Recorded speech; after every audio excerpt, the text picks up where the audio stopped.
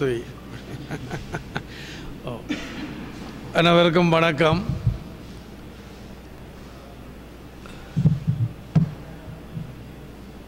இந்த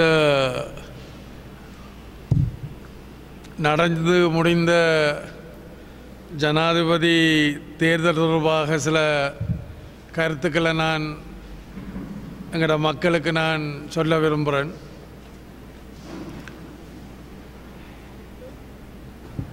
என்ன நடக்க இருக்குதோ அது நடக்கும். அதாவது தென்னிலங்கையில்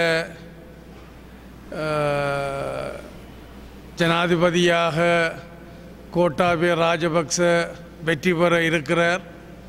அந்த வெற்றியில் தமிழ் மக்களும் பங்கெடுக்கிறதுக்கு ஊடாக அதில் கலந்து கொள்கிறதுக்கு ஊடாக அந்த வெற்றியை தங்களுடைய வெற்றியாகவும் மாற்றிக்கொள்ள வேண்டும் என்று சொல்லி நாங்கள் எங்களுடைய தேர்தல் பிரச்சாரத்தில் நாங்கள் முன்னெடுத்தினாங்கள்.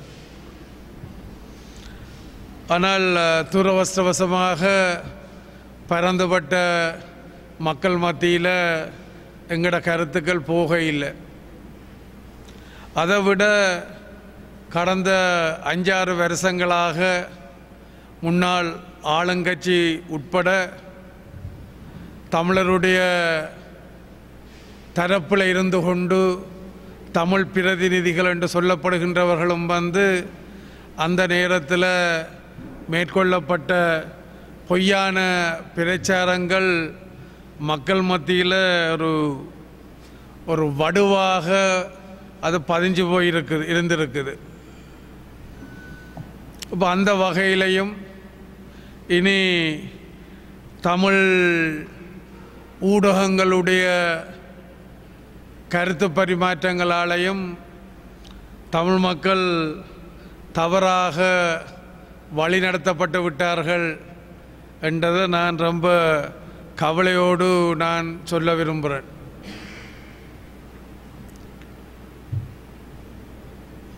இப்போ நாங்கள் கடந்த காலங்களிலையும் தமிழ் மக்களுக்கு பல விடயங்களை நாங்கள் எடுத்து கூறியிருந்த நாங்கள்.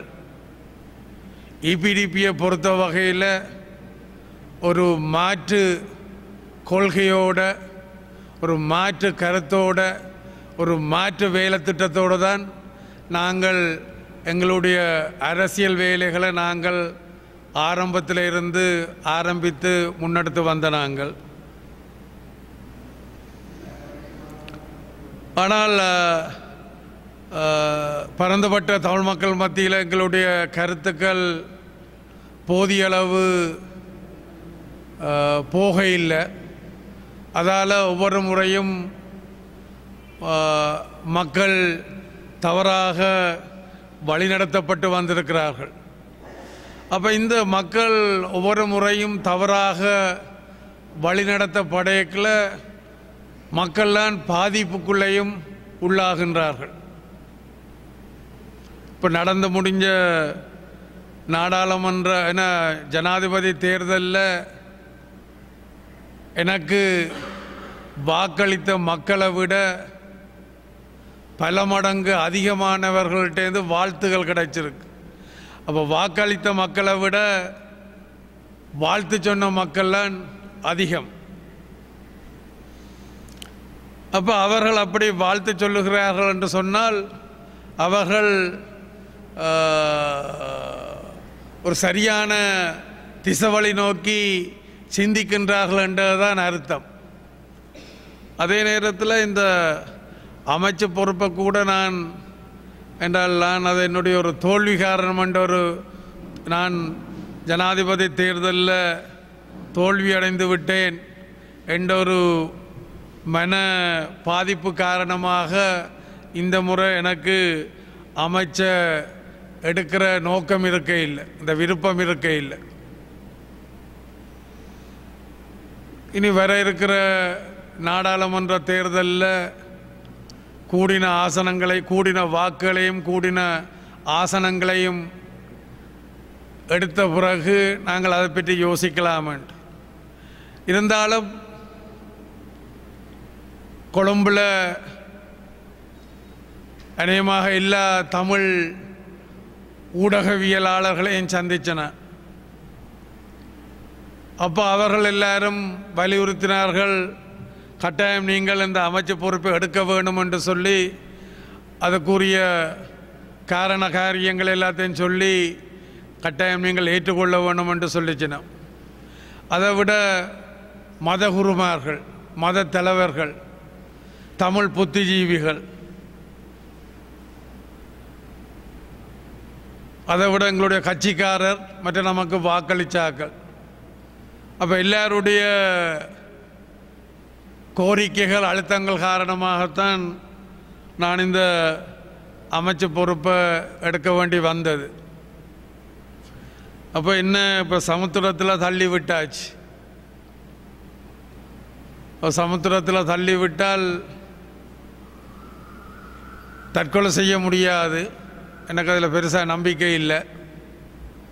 தற்கொலை நடவடிக்கைகளில் எனக்கு நம்பிக்கை இல்லை. அப்போ நீந்த வேணும். அப்போ நீந்துறன்னு சொன்னால் ரெண்டு பக்கம் ரெண்டு பெரிய கருங்கல்ல கட்டிக்கொண்டு நீந்திர நிலைமையில் இருக்கிறேன். ஒரு பக்க கருங்கல் தேசிய அமைச்சு என்ற வகையிலையும் மற்ற பக்கம் தமிழ் மக்களுடைய பிரச்சனையும் என்ற ரெண்டு பெரிய கருங்கல்ல கட்டிக்கொண்டு நீந்த முற்படுறேன் எனக்கு கடந்த காலங்களில் சமுத்திரங்களில் நீந்தின அனுபவம் இருக்கு. அப்போ இந்த முறையும் என்னால் நீந்த முடியும் என்று நம்புகிறேன் இரண்டு கருங்கற்களை கட்டியிருந்தாலும் அந்த கருங்கற்களை ஆர் எங்களுடைய அப்பர் சுவாமிகள் ஆர் அப்பர் சுவாமிகள்? கடலோட கட்டி ஆ? திருநாக்கரஸ் கடலோட கட்டி கல்லோட கட்டி கடலில் போட்டாலும் ஓ நான் அதை தான் மிதப்பேன் என்று சொல்லி அவன் சொல்லியிருக்கிறேன் ஆ?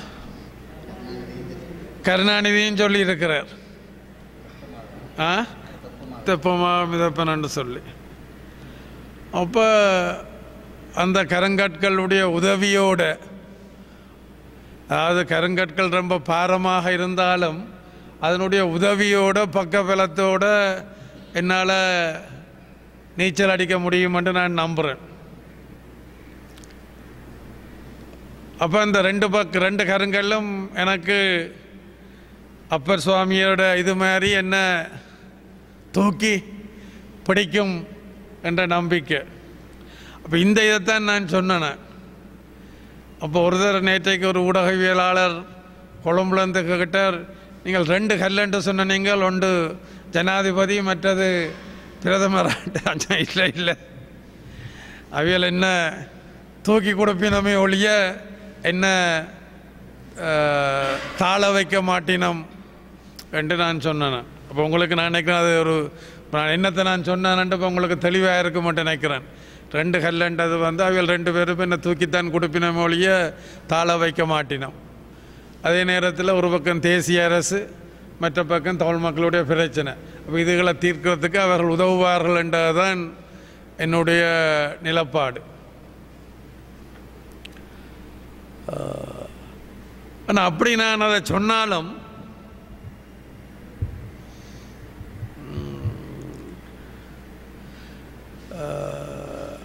தமிழ் மக்களும் வருங்காலங்களை நிகழ்காலங்களை வருங்காலங்களை சரியாக சிந்தித்து சரியான திசவளை நோக்கி பெற வேணும். அவ்வாறு செல்லுகின்றவர்களுக்கு பக்கபலமாக இருக்க வேணும் என்றதையும் நான் இந்த சந்தர்ப்பத்தில் கேட்டுக்கொள்கிறேன். நான் கடல் தொழில் மற்றும் நீரக மூலவளங்கள் அமைச்சு அதாவது கடற்தொழில் மற்றும் நீரக மூலவளங்கள் அமைச்சு.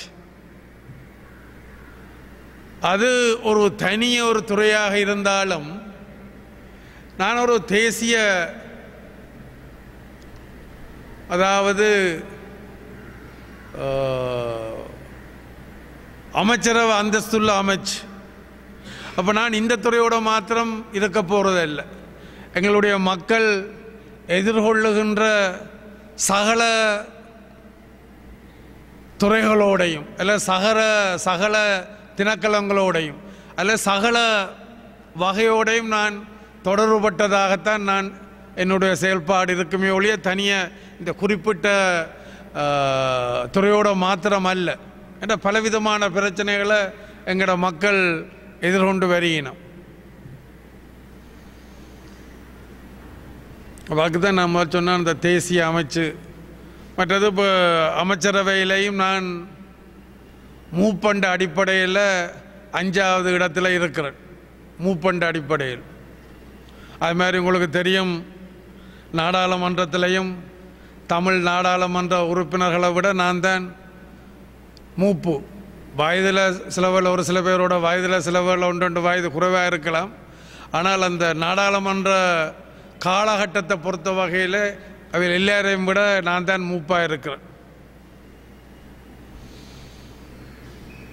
அப்போ இப்போ திருப்பி இன்னொரு தேர்தல் வரப்போகுதுன்றவுடனே தமிழ் தரப்பினர் சக தமிழ் தரப்பினர் இப்போ மத்தளம் அடிக்க வழிகட்டிட்டீங்கன்னா சர்வதேச சமூகம் சர்வதேச சமூகம் என்று வழிகிட்டு இருக்கணும் உங்களுக்கு தெரியும் ஜனாதிபதி கோட்டாபே ராஜபக்ச தேர்தலில் போட்டி போடுற போது சக தமிழ் தரப்பினர் எவ்வாறு அவரை காரசாரமாக விமர்சித்தார்கள் என்று உங்களுக்கு தெரியும். முதலைக்கு ஆக்களை வட்டி போடுறார். அஹ், ராஜா அப்படி பண்ணலான்னு சொல்லி கன இது.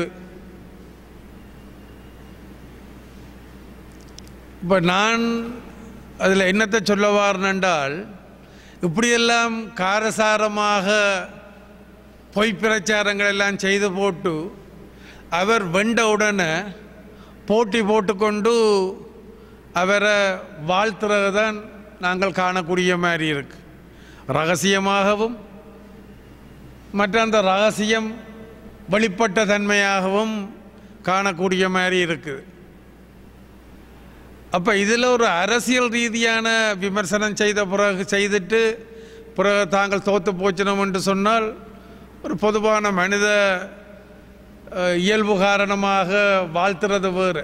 ஆனால் இங்கே அவர்கள் சுமத்தின குற்றங்கள் எல்லாம் பாரதூரமானவை. கழுகேற்ற வேண்டும். சர்வதேச விசாரணைக்கு உட்படுத்தப்பட வேண்டும். மரண தண்டனை கொடுக்கப்பட வேண்டும்.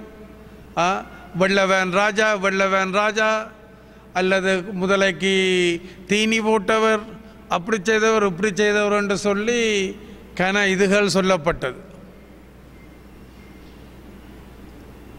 பிறகு பாஞ்சு விழுந்து போட்டி போட்டுக்கொண்டு ரகசியமாகவும் அந்த ரகசியம் வெளிப்பட்ட தன்மையிலையும் வாழ்த்துக்கள் தெரிவித்து கொண்டு இருந்தவர் இருக்கணும் இப்போ அரசாங்கத்தில் கூட தாங்கள் பங்கெடுக்கிறதுக்கு தேரன்ட்டு என்று சொல்லி கூட சொல்ல பார்க்கினோம் அப்போ அவைகளுடைய பிரச்சனை என்னென்றால்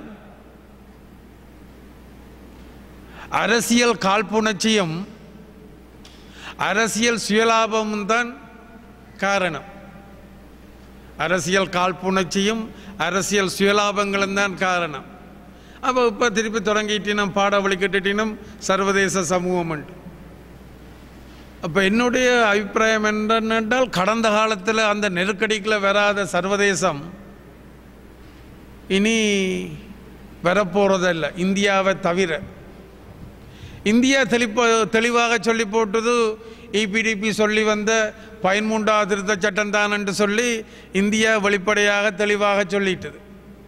பதிமூன்றாவது திருத்த சட்டம் தான் பிரச்சனைக்கான தீர்வாக ஆரம்பமாக இருக்க முடியும் என்று இன்றைக்கு நேற்று கண்டல்ல. இந்த பிரதமர் மோடி அவர்கள் ஆட்சிக்கு ஆட்சி ஆள்ற நேரத்தில் அவர் அன்றைக்கும் இன்றைக்கெல்லாம் சொல்லி கொண்டிருக்கிறார். பதிமூன்றாவது திருத்த சட்டத்துக்கு ஊடாகத்தான் இந்த தமிழ் மக்களுடைய அரசியலுரிமை பிரச்சனைக்கு தீர்வு காண வேண்டும் என்று சொல்லியிருக்கிறார். அப்போ இந்தியா தவிர்ந்த சர்வதேசம் என்பது அன்றைக்கு முள்ளுவாய்க்காலே வராத ச சர்வதேசம் இன்றைக்கு வரப்போகிறதல்ல ஏன்னா தமிழருடைய தரப்பில் சுயலாப அரசியலுக்காகத்தான் அது சொல்லப்பட்டதை ஒழிய பிரச்சனைகளுக்கு தீர்வு காண்ற நோக்கத்தோடு அல்ல. அப்போ ஒரு ஒரு தரப்பினர் சொல்ல பார்க்கினம் அதாவது திரௌபதி பாஞ்சாலி பாஞ்சாலிய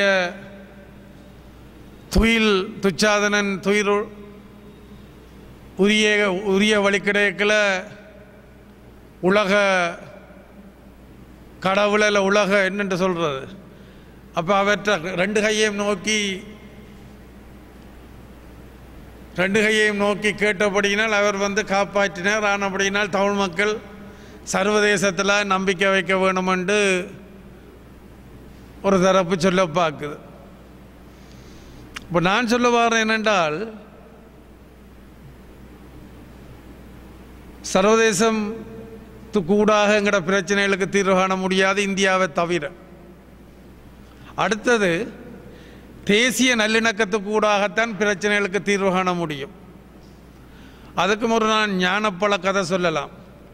இப்போ திரௌபதியிட கதை மாதிரி நான் ஒரு ஞானப்பழ கதைன்னு சொல்லலாம். உங்களுக்கு தெரியும் சிவ- சிவபெருமானுக்கும் உமாதேவிக்கும் ஒரு என்ன கனி கிடைச்சது? ஆ? ஞான? ஞானப்பழம். மாங்கனியா? அது ஒரு ஞானமான மாங்கனி என்று வச்சுக்கொள்ளுவோம் அப்போ அது ஆருக்கு பங்கெல்லாம் பிள்ளையாருக்கா முருகனுக்கா கொடுக்கலாமன்ற ஒரு பிரச்சனை வரையக்கில். உடனே முருகன் மயில் மயிலை சு- ஏறிக்கொண்டு உலகத்தை சுற்றி வந்தார். உலகம்தான் தாய் தகப்பன்தான் உலகம் உலகம்தான் தாய் தகப்பன் என்று சொல்லி அவர் அதை சுத்த சுற்றி வர வழிகிட்டவர். சுற்றி வந்தவர்.